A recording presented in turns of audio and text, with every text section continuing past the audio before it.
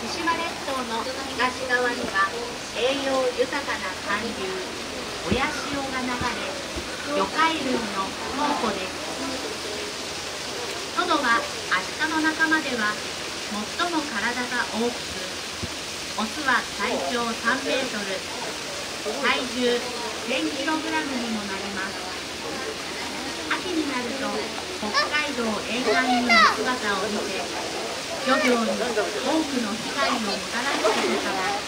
海のギャングと呼ばれています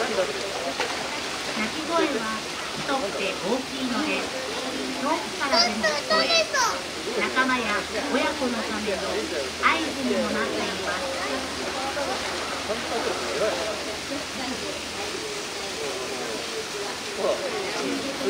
ここは多くの人が住み荒波が砕ける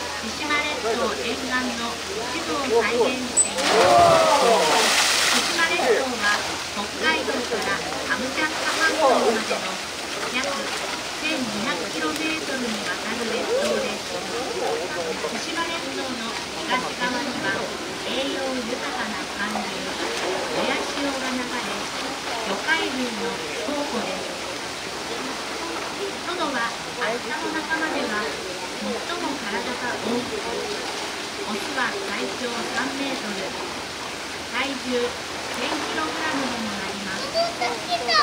秋になると北海道沿岸にも姿を見せ漁業の多くの被害をもたらすことから海のギャング